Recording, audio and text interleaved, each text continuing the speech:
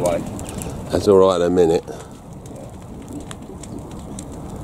Right, as you can all see in YouTube land, uh, JWB are having their annual burn up on the old straw bales.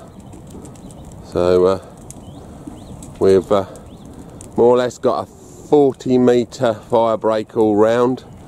Um, between us and the farm is close on to a 70 80 metre fire break. So, and I've just uh, sprayed 2,000 litres of water all around it to give a safe area.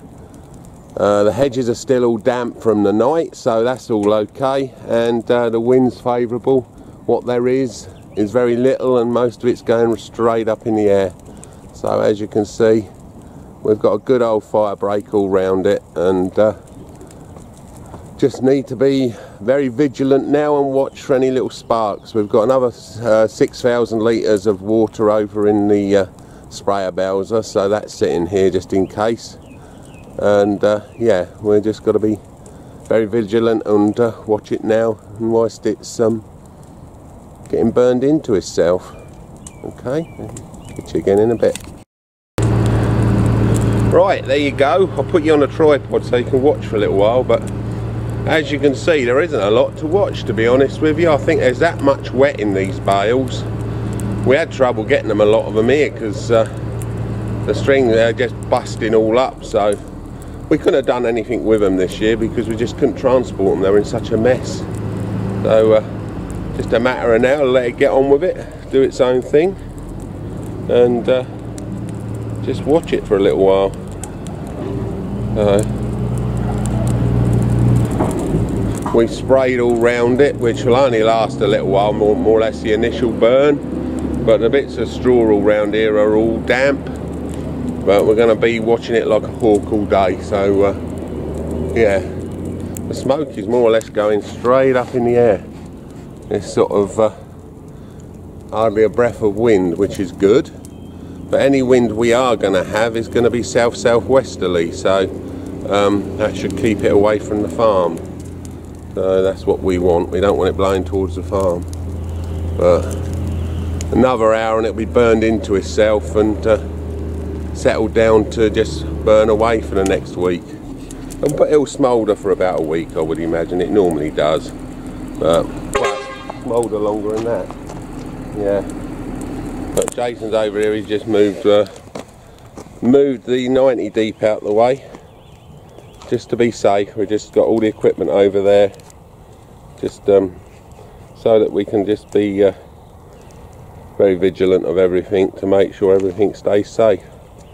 Uh, there's a sprayer. We've been spraying with that, sort of spraying uh, any sort of uh, dodgy spots, but the heat's getting up in the day now, so any water you're putting down is more or less almost evaporating. It does cling to the, uh, the bits of straw laying around though. But we're going to have a, a, fire marshal today to keep an eye on it. Um, I think we're going to nominate uh, for that because uh, Jack's got to go baling at um, uh, about 12 o'clock. He's got eight acres of uh, haylage to do for a local farmer. We did, uh, what did we do yesterday? Close on to 100 acres of silage and baling and raking yesterday. So we had a really good day yesterday and no breakdowns. So it's amazing. Uh, yeah, isn't the biggest fire we've ever had, but um, burned, but it's uh, okay. Uh, I think that's what happens when that falls down like that big lump just fell down it sort of wafts up a bit of stuff a bit of uh, dust but there's no wind to carry it at the moment so it's a really good time of day to burn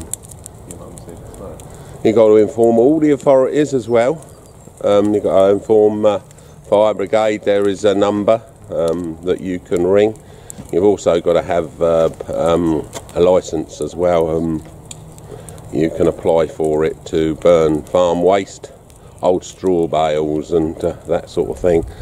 So uh, yeah, we've uh, we we have one of them. I think it's with um, Beds Borough or you know the environmental. I don't know. We informed them all anyway. So yeah, so just uh, now just got to watch it burn down, and uh, we will have to push it up a little bit here and there, but we'll, again we'll be very choosy when we're doing that. And the loader will be washed down and any straw on it removed. So, and uh, we will push from uh, upwind. So um, you've got to do that basically to uh, burn all the straw up inside or else you end up with a load of straw laying on the floor. And you go to spread it and it's full of straw. So we'll do that and then we'll wet the ash down and we'll spread the ash on the ground as usual. Turn it into potash. So all good stuff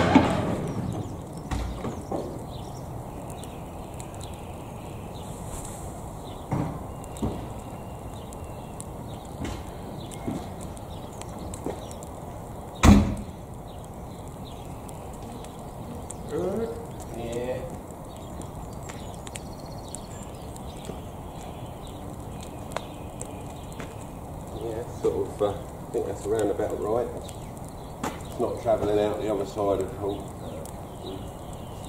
I'll just move that bow just in case like, there's anything that's burnable back. That's a good, that's a good 60 yards to those other bales. And we'll just use them on top of the store stack to take the new stuff. Yeah, the new stuff's going to be worth money, so we don't want to use lose more this winter. So even if they make the top layer of it down, they're going to wear that will come straight through, you know. But you see how it's not going in barrels. Yeah. Right, I think we can leave that for 10 minutes. Get those just wanted to get it going, you know. And to be honest, it's a job I didn't do, so I thought, well, yeah, I thought, yeah, yeah. Well, that's the truth. It's a job I don't like doing. I'd rather sell it than burn it. If there was anybody that wanted it, they could have had it. But the trouble is, you can't transport piles of crap. No. The bales were knackered. You just couldn't couldn't have loaded them on a lorry or a trailer and no, so health and safety and all that stuff. Right, there you go, everybody. That's this year's burn. So we're going to cut it off there, and uh, I'll upload this as soon as I can. Okay, catch you later. Bye bye.